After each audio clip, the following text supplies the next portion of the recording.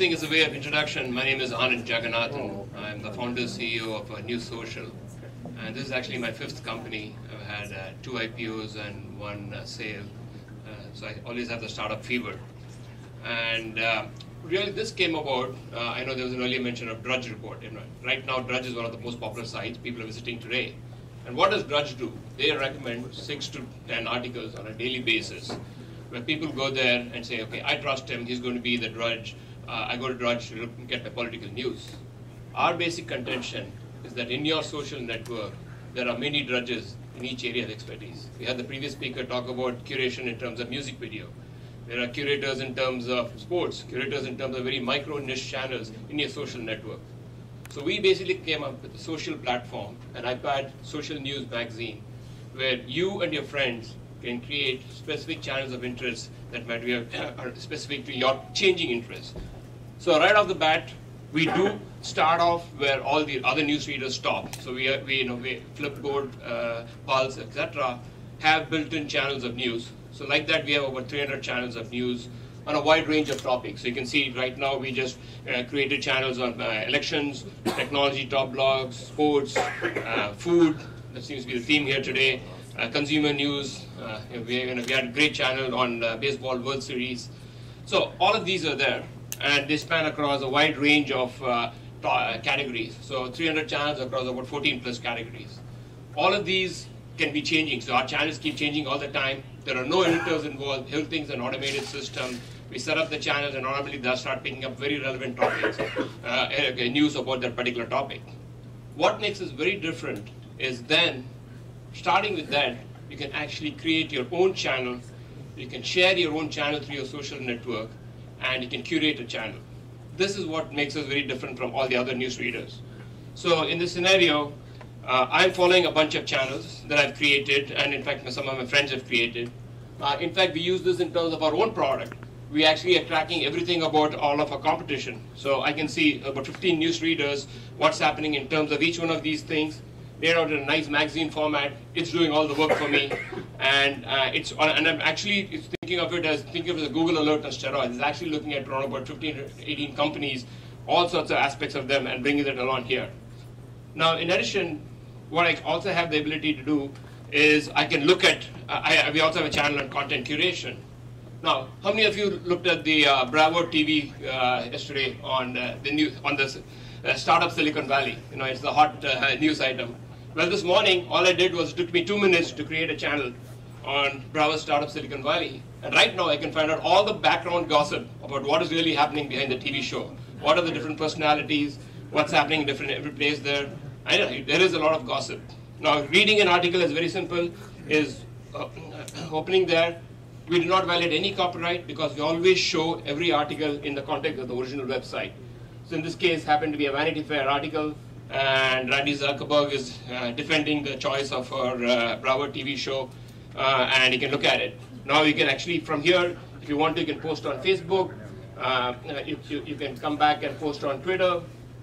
Uh, all of these things are standard. We can share this as part of the social network. But we also do something very different. I can take this particular article and say, hey, here's an article, just like curation of music, here's a must-read article that you should read on this particular channel.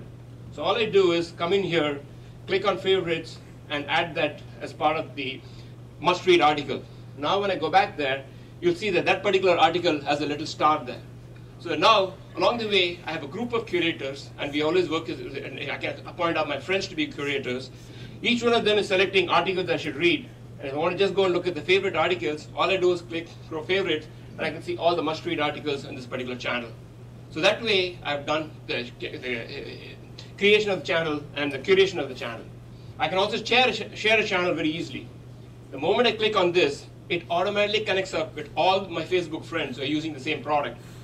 Uh, so our login is through Facebook. You can also log in through email. But with Facebook, we automatically establish the social graph. And as your friends start connecting up, you don't have to do anything. It'll detect their friends. So I can come in here and then share this and I said, okay, you know, I'm going to share this channel with uh, Shastri, who's one of my colleagues here, and Priyanka, who's also here.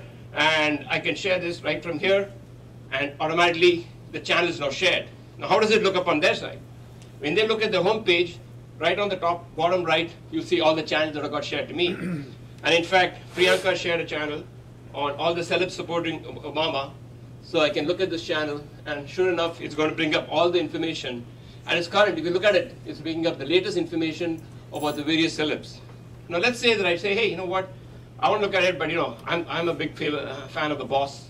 So I'm going to come in here and say that I want to look for any information about Springsteen. Okay, so right in the channel, I'm going to look for this. The bank is going to go there, he's going to pick up all the information, and there's this, there's information of Springsteen right up there. So here, and now if I want to, I can actually create a channel out of this and share it and say, okay, this is all about Springsteen supporting Obama. So that's the level of customization that you can do with all of this information. And for those of you who looking, look, want to look at the latest election results, Shastri actually shared an article. He liked an article and he shared it with me regarding the latest election results. And you can see that if we keep going down there, Obama is leading 173 by 150. so,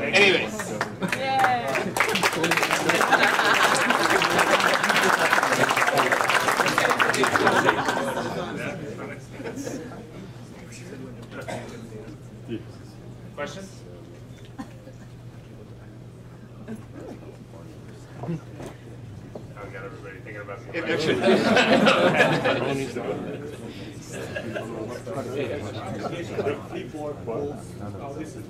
yeah, so in any of these other news feeders, you cannot create these micro channels, you cannot share them, there's no curation. So they are the editors. So one of the big problems is this. I don't want them telling me, they, they may not even have anything about the startup uh, or anything, or it might be something specific to a car, or maybe specific to a Springsteen. So the whole idea is this, typical news readers, there are a set of editors who thrust news at you. But if you look at what happens in a social network, you get one article at a time being shared through Facebook. We took both of these concepts as once of sharing one article at a time, let's use your Facebook social graph and share a whole channel of information along with the social graph. So you cannot do, uh, our, our whole technology is built on a search engine technology. And so that's the key thing. You actually can create very, very micro niche channels share them, and it does that automatically. It propagates that through the social network. So you can't do that in any of the other products. Uh, two questions. One is that uh, how do you decide how many, when someone puts a name, how do you decide how many articles you put on the page? Sure. And then um, what's your business model? Sure. Okay, good. So the first question was, uh, how do you decide how many articles you put on a page? And the second question, uh, I'll, I'll answer that first. So basically what happens is, um, the, so we actually have a very uh, tuned uh, search engine algorithm. So given a topic, it actually finds the most relevant information for the topic using a variety of criteria. So it just doesn't do a strict a string search. It also uses the concept of time. So you see always, news is all about time. So it actually gives weightage to time. So it's a combination of, so we are always talking about something called timely relevance. So we actually pick a huge number of articles, uh, uh, let's say 50 articles. Then we actually have a layout algorithm which then lays it out. And if you look at the layout, this thing there, it actually max maximizes towards images. So it actually, there's about six different uh, uh, permutations of layouts that it automatically figures out based on the best match and does it. And that's why you get that smooth look of a, as a, a, magazine look out there. So we spend a lot of time, again, as you mentioned, Flipboard had set the bar. So we had to, we had to catch up with the Flipboard. So we did a lot uh, for that. Uh, but every channel is actually highly tuned towards the search, and that's, sort of, uh, that's part of our expertise. The second question was on the business model. Uh, and so this is a freemium product. This is the consumer product that's a freemium product. I actually do not show aspects of our business product. But think of this. If I'm a business, I want to create market intelligence about my competitors. I want every sales guy to have information about the customers that we are selling to, in, as, so they have the latest information of customers. I want to know what's happening to my ecosystem. In fact, you saw some of how we are using it internally. For that, you create a channel, you want to distribute it through a private network. It could be LinkedIn, it can be a thing. We charge for that on a per user, uh, per month basis. We also have two other uh, components. One of the big issues is that many uh executives, every executive is trying to create a social media presence. So in fact, at, at the Salesforce conference, uh, Jeff Immelt said he first started tweeting. Now, how do you start? How do you give them information? You don't want them to tweet, say, I went for lunch. So we actually have an automated system where he can pipe channels into a Twitter channel on behalf of an executive. And he can decide that, hey, anytime I like an article, I just click on like, and it automatically gets tweeted out with the right kind of branding. So we actually do hashtags and think dynamically. We actually look at the article, we put hashtags. Uh, and uh, so we have examples of that. So we do all of that. These are the products that we monetize. Free product is the consumer product. Okay. Uh, time for one more. Yeah, so if I create a channel, can, can I take advantage of your classifier, or is it just the articles I select for? Uh, no, you actually take you, you take advantage of a classifier. So there are a variety of ways of uh, creating a channel. You can create a channel and say, I want to look at all you know 10,000 sources of information that you have.